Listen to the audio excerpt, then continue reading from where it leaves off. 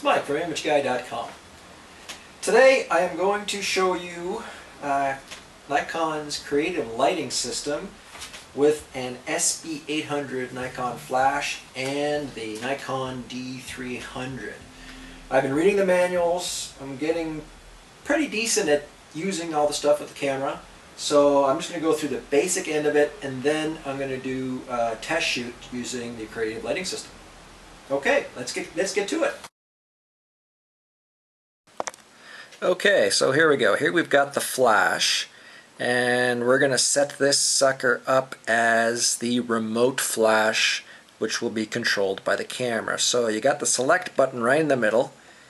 Hold that down for a few seconds and you get up into the uh, the menu here and as you'll notice there's quite a few things you can choose from but what we want is that guy right there. So I hit select again scroll down to remote hit that and now it's the remote. So I'm going to hold the select button down again and we're back here. So now if I hit select quickly I'll go into channel.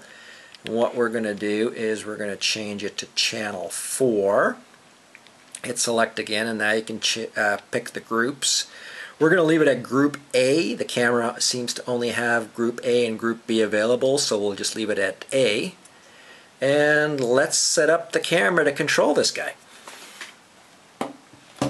Okay, so here we've got the camera. So the guy is on. I'll hit the menu button and we'll oh, get back into that and we'll hit the custom settings menu.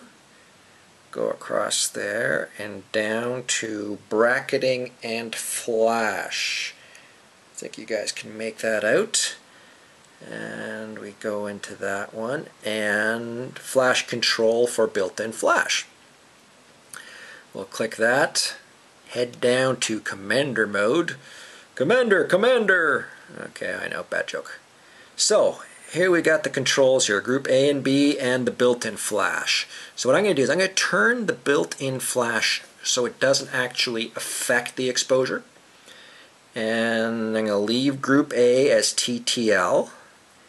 And we'll head down to channel and remember this sucker is channel 4 and we've got that set so we hit OK and now the camera should control the, uh, the flash. So let's pop up the little flasher I'm just going to adjust this camera up a little bit.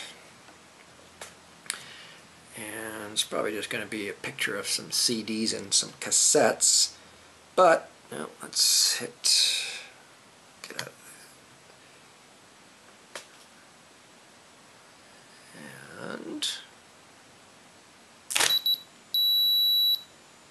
Yeah, there we go. So we got a picture of it. So it seems to be controlling it. We'll try another one just to make sure.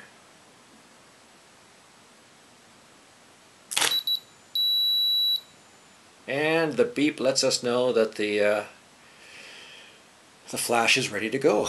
Okay, let's go shoot something.